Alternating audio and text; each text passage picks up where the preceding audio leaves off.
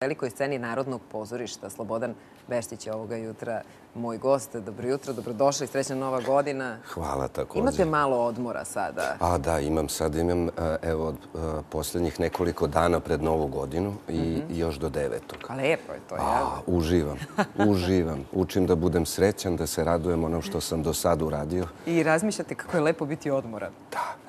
Da, mada sam se razboleo, što, eto, kao može čovjek da kaže, sad to nije lepo, međutim, u stvari lepo zato što sam legao u krevet i danima ležim i samo se onako radujem onome što sam doživeo do sada, jer sam imao divne, cela ova godina mi je bila stvarno mnogo lepa i uspešna.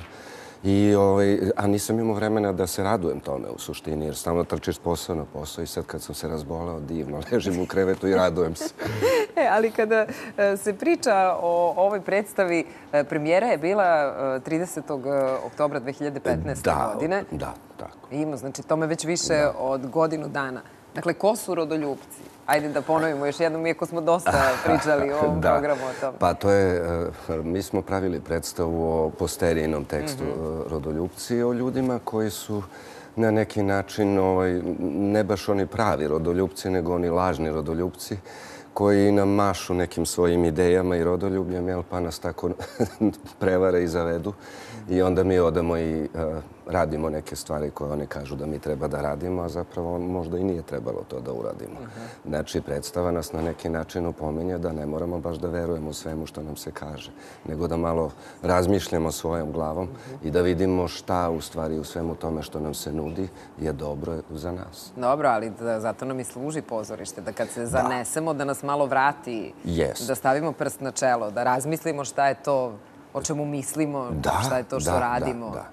Ja, recimo, volim da se bavim tom vrstom pozorišta, mada, naravno, ne prezirem ja ni ono zabavno pozorište, mm. koje ljudi uglavnom vole da kažu ovaj, šta imaš, jel imaš neku komediju, nemoj mi te ozbiljne te drame. Ali ja u stvari mislim da su te ozbiljne teme koje, mi, ovaj, koje ja bar volim da radim u pozorištu mnogo blagotvornije. A pogotovo te teme koje se rade sa nekom vremenskom distancom, kao što e, je to, tačno, da. Kao što je to uh, ovde slučaj. E sad, kada gledamo te neke stvari koje se dešavaju uh, decenijama unazad, pa koje se ponavljaju e, i danas. Šta vi kažete sebi? Bože, kako je moguće da ne učimo na svojim greškama? Jeste, ali s druge strane, eto, mi napravimo predstavu. Znači, oni ljudi koji su pogledali predstavu, možda su počeli malo drugačije da se gledavaju te stvari bar jedan čovek u publici, mi to bar sebe tako tešimo, ako ima jedna osoba u publici koja je nešto shvatila i počela malo drugačije da misli, nešto smo uradili, jednu smo osobu malo usrećili ili malo je pomerili iz nečeg, iz jednog stanja u kome tu, tu nekakvu nesreću doživljava non stop u svojoj glavi, a nije ni svesna. Kada se uopšte priča o, o toj godini uspešnoj koja je za vama, onda moramo da pomenemo narodnu dramu Eh, koja je u novembru premjerno izvedena. Jeste, to je sad posljednja moja premijera, da.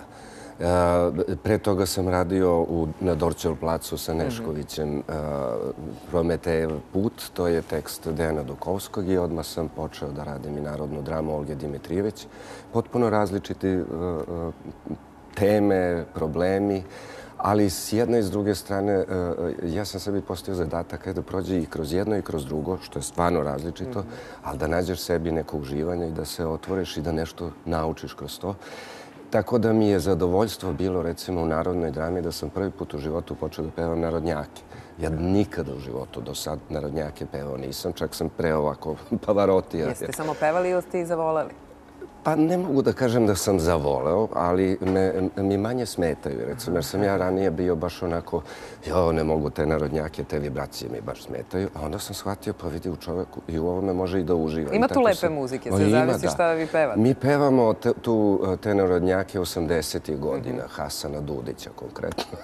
ja ovaj, tako da sam shvatio da i u tome ja mogu nekako da nađem neku radost. Ali znate šta? I nije mi više to tako odbojno kao ranije. Vidite, evo, recimo sad kad kažemo kako možemo e, da sa tom vremenskom distancom gledamo na, na neke tekstove i kako je i danas potpuno ista situacija. Eto, recimo, s muzikom nije ista situacija. Nekad nešto što je bilo pre nekoliko desetina godina kiči šund. Da. Danas se, danas se vodi kao Klasika. Evergreen. Da, da. Pa je da? Jeste. Gde smo to tako moralno posrnuli? Pa posrnuli Ili jesmo da li smo razne... pos- Ja mislim da jesmo. Mislim, ako sad malo kritički gledamo, ovaj, mi imamo jedan pad vrednosti u društvu, veliki, na svim nivoima. Ne samo u nekom međuljudskom odnosu i na moralnom planu, nego se to onda odražava i u obrazovanju i kulturi i nauci, u muzici, u svemu onome što i ja radim u pozorištu. Jel? Ne znamo više da prepoznamo pravu vrednost.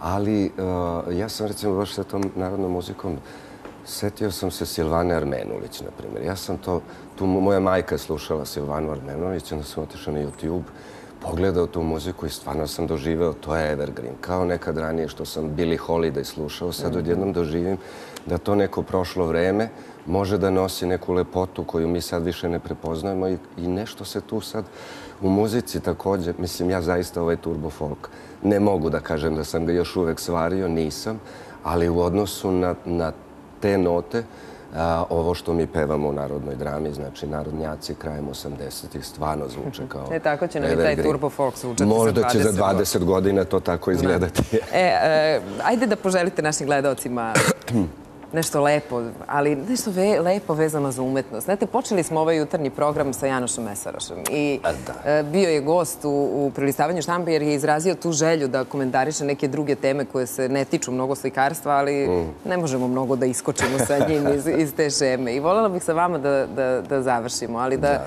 e, pošaljemo neku pozitivnu poruku. Lako je da smo nezadovoljni, da Jeste, kritikujemo. jeste, to je lako. Ajde ali- da nešto uradimo. E, Ja bih rekao ovako, evo, ja nisam sasvim slučajno pomenuo da sam ovih dana ležao i učio da budem srećan. Sećao sam se š- šta je lepo i na čemu treba da budem zahvalan zapravo.